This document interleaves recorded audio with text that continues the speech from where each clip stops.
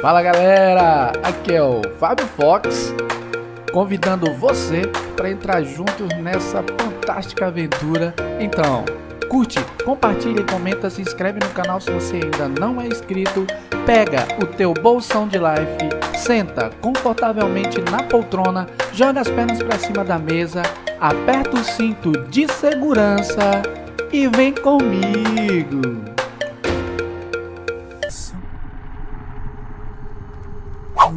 Dentro de uma história que eu vi há muitos séculos. Com poder eterno, conhecimento infinito e uma fome insaciável. A entidade. Um reino tão perto do nosso, mas sempre inalcançável. Até que eu o encontrei. Fala galera, e aí como vocês estão? Hoje o jogo que trago pra gente testar na RX 580 meus amigos. É o jogo The Casting of Frankstone, e que jogão né? Será? E ai será que essa nossa guerreira RX 580 roda? Como ela se comporta nesse game? Bora conferir.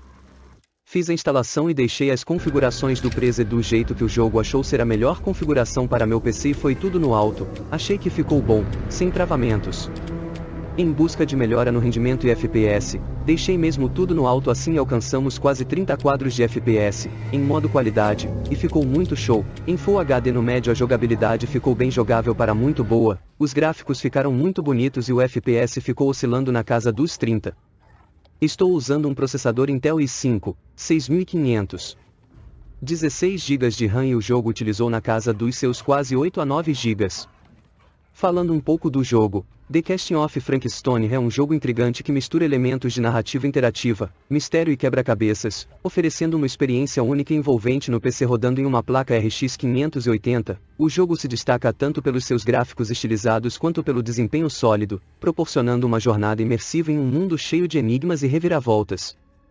Os gráficos de The Casting of Frankstone são visualmente distintos, utilizando uma paleta de cores sombrias e um design artístico que lembra filmes noir e histórias em quadrinhos dos anos 1950. As sombras são profundas, e o jogo faz um uso criativo da iluminação para intensificar o clima de mistério e suspense. A RX 580 lida bem com essas escolhas estilísticas, permitindo que o jogo rode em configurações médias a altas sem comprometer a qualidade visual, a fluidez das animações e a nitidez das texturas ajudam a criar uma atmosfera que é tanto cativante quanto imersiva, elevando a experiência de explorar os ambientes misteriosos de Frankstone. O desempenho do jogo em uma RX 580 é bastante consistente. The Casting of Frankstone não é particularmente exigente em termos de hardware, o que significa que a RX 580 pode facilmente manter uma taxa de quadros estável, mesmo em momentos mais intensos do jogo. Isso é crucial para manter a imersão, já que qualquer lag ou queda de desempenho poderia prejudicar a experiência de resolução de quebra-cabeças e a exploração dos cenários. A otimização do jogo é perceptível, garantindo que mesmo em uma placa de vídeo mais modesta, como a RX 580, os jogadores possam aproveitar o jogo sem problemas técnicos. A jogabilidade é focada em explorar o passado e presente do protagonista Frank Stone, um detetive com um passado nebuloso, enquanto ele desvenda um caso complexo que mistura realidade e ilusão. As mecânicas de quebra-cabeça são criativas e desafiadoras, exigindo que os jogadores prestem atenção aos detalhes e pensem fora da caixa. Cada decisão e descoberta empurra a narrativa para frente, e o design de som complementa perfeitamente, com uma trilha sonora que amplifica a tensão e efeitos sonoros que enriquecem a ambientação. Em resumo, The Casting of Frankstone no PC é uma experiência fascinante, e roda sim e muito bem em uma placa de vídeo RX 580, especialmente para aqueles que apreciam jogos com uma forte ênfase em narrativa e atmosfera. Rodando em uma RX 580, o jogo oferece gráficos estilizados e um desempenho estável, garantindo que os jogadores possam se perder completamente no misterioso mundo de Frankstone. É uma aventura que combina estilo, substância e um toque de suspense noir, tornando-se uma adição memorável à biblioteca de qualquer jogador. Melhor amigo que alguém pode querer. Leal até no meio do apocalipse. Confio mais nele que em mim.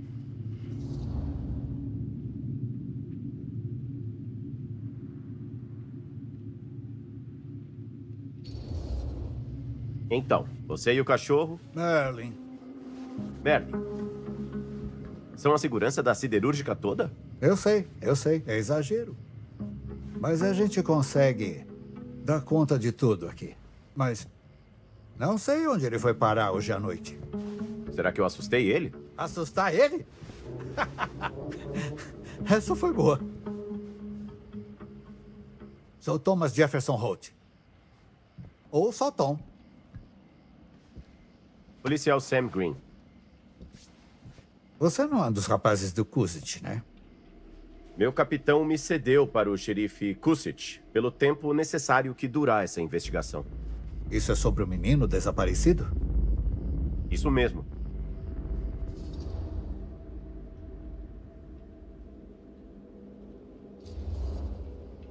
Percebeu algo de suspeito perto da siderúrgica? Hoje? Hoje, nas últimas noites. O que lembrar? Não. Nada. Nada? Nada. Você não precisa acreditar em mim. Pergunta pro xerife. O xerife Cusset esteve aqui? Ele passou aqui ontem à noite perguntando a mesma coisa. E eu falei a mesma coisa que agora. Não tem como o menino estar aqui sem eu e o Merlin ficarmos sabendo. E o que o xerife falou? Tá bom, Tom. Aí ele voltou pro carro e foi embora. Ah.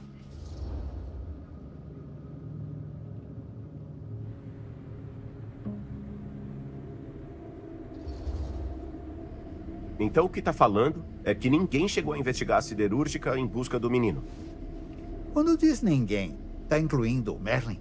Não, Tom, não inclui. Tô falando de investigadores humanos. Nesse caso, Sam, é difícil não confirmar a sua afirmação. Será que se importa se eu der uma olhada na área? Pode ficar à vontade. Claro que tá tudo trancado pra noite. Não é problema.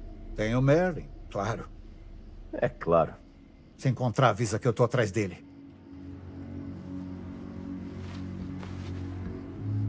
Obrigado pela ajuda, Tom.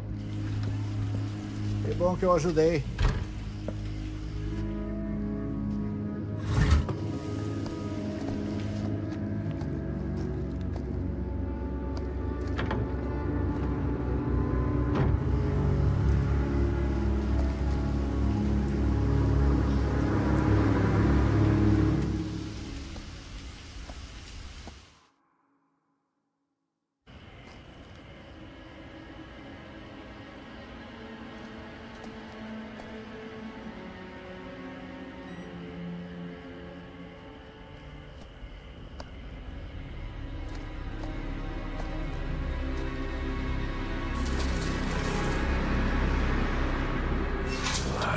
Tudo trancado pra noite.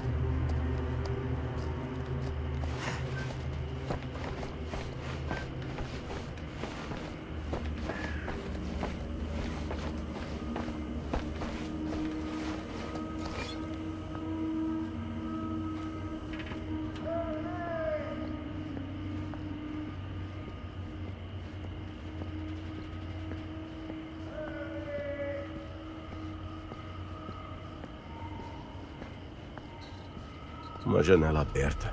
Eu consigo entrar por ali.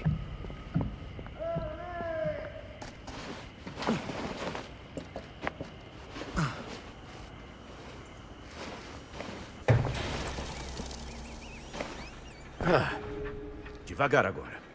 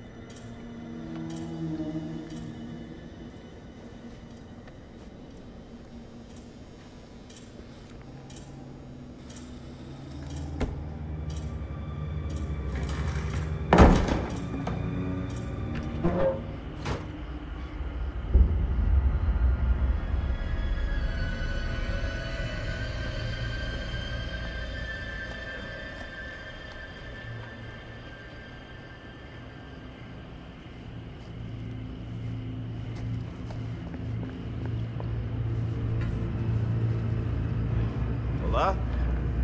Tem alguém aqui? É a polícia.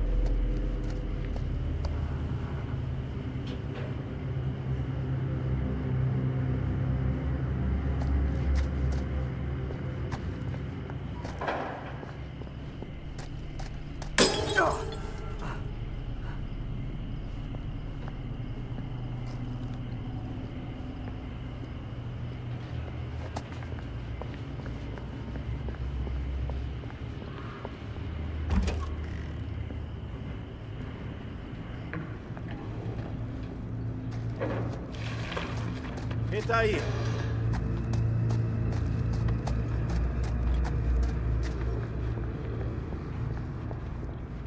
Ah, que cheiro de coisa morta.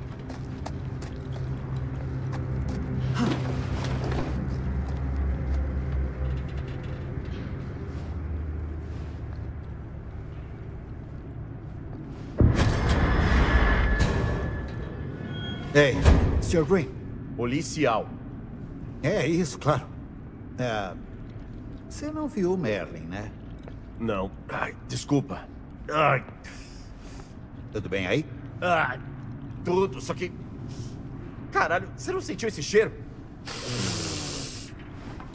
Meu faro não é dos melhores. Na guerra, eu cheguei perto demais de uma lata de gás mostarda lá nas trincheiras. Ah, Pode ser uma benção às vezes. Ah.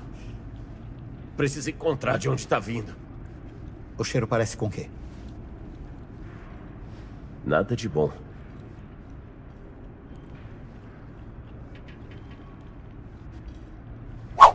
Bem, galera, o Fábio Fox vai ficando por aqui. Espero que vocês tenham gostado. E se gostaram, dá aquele joinha pra gente. Curte, compartilha, comenta e se inscreve no canal se você ainda não é inscrito. Vou sugerir dois vídeos aí para vocês assistirem no finalzinho desse vídeo.